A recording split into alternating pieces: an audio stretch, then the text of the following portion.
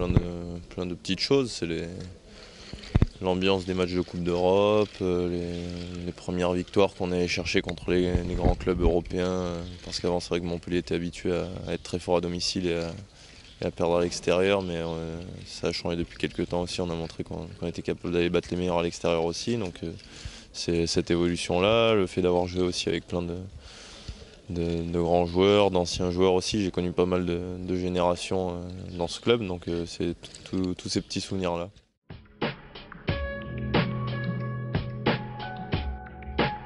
Pire souvenir, euh, bah, je sais pas vraiment, c'est des petits trucs que j'ai pas trop envie de, dire. Non, il n'y a pas, pas une défaite particulière. Il y, a des défaites qui ont, vrai qu'on fait un peu mal. Je pense au, match contre Moscou, on aurait pu se qualifier pour le, final fort de la Ligue des Champions, des matchs comme ça, mais ça fait pas partie de mes pires souvenirs.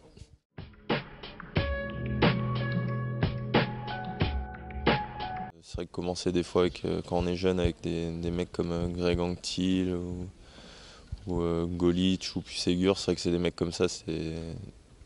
Quand je suis arrivé, je les regardais un peu avec des grands yeux. C'est vrai que Greg il faisait des choses incroyables à l'aile. Donc quand on est petit, on, regarde ça.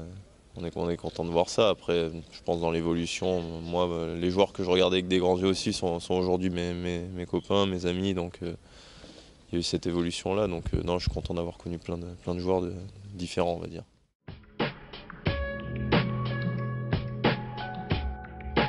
Pour moi, euh, Montpellier, ça reste de toute façon euh, un, des meilleurs clubs en Europe, sans doute le, meilleur club de l'histoire français. Donc moi j'ai beaucoup d'attaches ici, j'ai beaucoup d'amis dans cette ville, d'amis dans ce club, donc j'ai passé de, superbes années, donc je retiendrai ça.